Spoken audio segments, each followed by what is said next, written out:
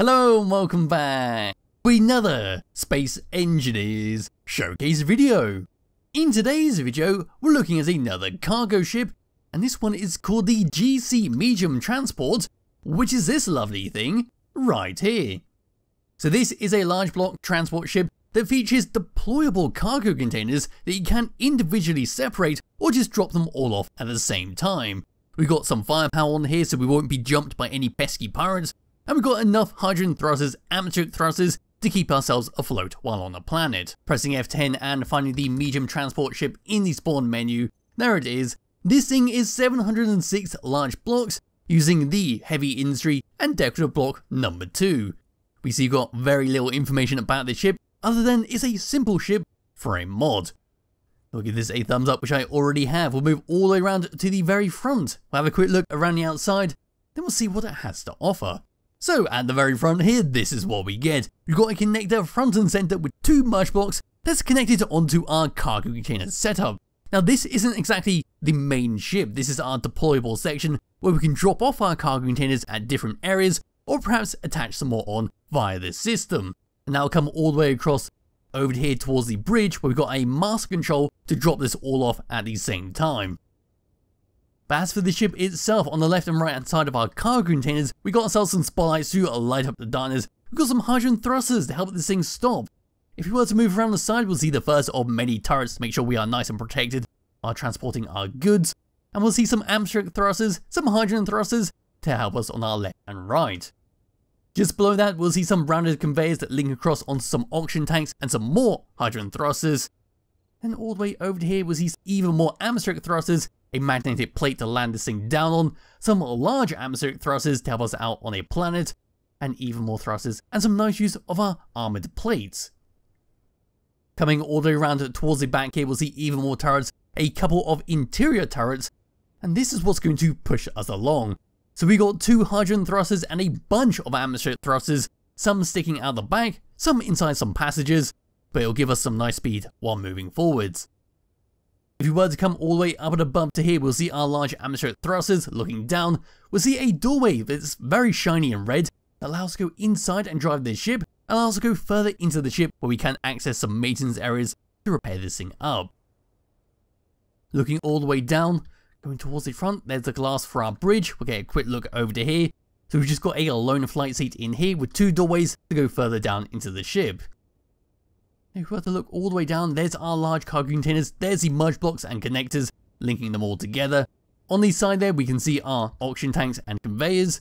I'll just come all the way across towards the front, where we've got some piston heads covering up our conveyor points.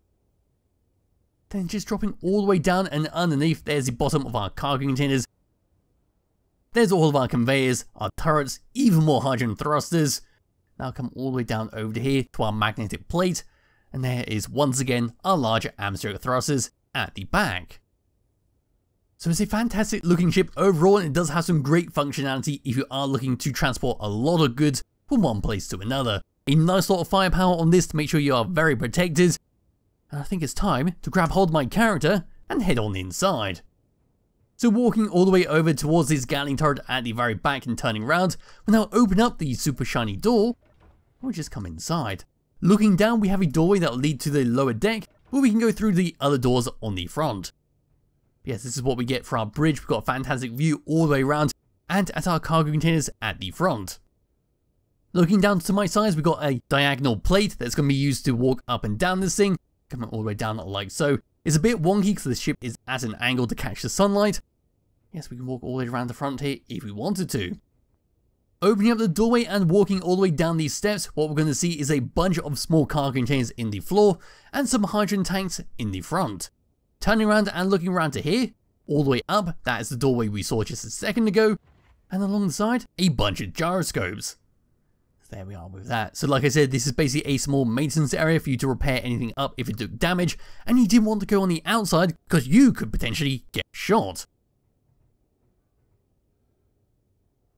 Turning around and coming back up to the main bridge, which sort of just walk up that, there we go, now we can get into the flight seat. So we've only got a handful of options for this ship, with number 1, number 2 being for the Gatling turrets and interior turrets, all the way around the ship. Number 6 is going to be for our magnetic plate underneath to lock and unlock it, and 6 and 7 is for our hydrogen thrusters and atmospherics. Turning off our hydrogen thrusters, we are still perfectly fine at flying around the planet. Turning off our atmospheric thrusters and turning on the hydrogen thrusters, we are still equally as good and can fly around. So there we are with that. If you don't want to waste fuel, or perhaps you're going a long distance and want to save fuel, you can always turn off some thrusters if you want to. Number 8 and number 9 is for our cargo containers at the front there. So if I was to bring the camera all the way over to here, and just look like that, pressing number 8 is going to be to lock and unlock the connector, which is right over here. Number 9 is going to be for the merge blocks, where we can turn it off, and bye bye cargo containers. That's now going to be delivered to the location, and hopefully they can recover something. Yes, that's just going to fall off into the ground, and we can fly off and go pick up some more cargo containers and deliver it, and hopefully it'll be in one piece this time. Yes, what I'll do is very quickly just delete this because we want all the cargo containers on here to see the actual speed this thing can go. So here it is once again, we're just going to drop that in. Come in through the back door, there we go, which is going to close this up. We are a bit wonky. I think we are moving a little bit. No, we're not. So what we'll do now is a very quick thruster test. Then I'll just slam this into the mountainside, and that'll be that. So moving forward, this is what we get. It takes roughly 8 seconds to reach maximum speed, which is very nice for a cargo ship. Coming to a stop, however, is going to be very, very different. It takes 18 seconds to reach 0 meters per second from maximum speed, or to reach 100 meters per second while reversing. So there we are, it's going to take quite some time compared to going forwards. Moving left and right is going to be the exact same, which is 14 seconds to reach maximum speed, and of course 14 seconds to come to a stop and go in the opposite direction. Moving up, however, is a completely different story. Pressing spacebar, it takes roughly 3 seconds to reach maximum speed, which is fantastic stuff, especially when you're carrying a lot of heavy goods and you don't want to slam into the ground. Coming to a stop or moving down to 100 meters per second is going to take roughly 11 seconds, because we do not have any thrusters facing down, it's simply going to be turning off the thrusters underneath. And then wiggling my mouse around, this is what we get. We've got a nice lot of weight on here, it's very meaty controls, but we still have plenty of response from this, so we can do some fancy maneuvering if you want to. So it's got some nice controls over it, it's got a nice lot of functionality, a great lot of defense on here, and to finish this off, we're just going to slam it into the mountainside, and well, I suppose we can just deploy that all the way down. Another successful delivery going to the ground. It does look rather nice without the cargo containers sitting in the middle. Got that very claw-like feature at the front. But anyway, there will be a link to it in the description below if you do wish to download it and play around with it yourself. I highly recommend you do because it is a fantastic transport ship if you are looking for a transport ship to use on a planet. So here we go in three, two, one, and not too much damage. Very disappointing lately with the crashes I've been doing. It looks like we just damaged one of the front floors. But there we go. Anyway, thank you all for watching, and I'll be back with another video some point soon. Bye bye.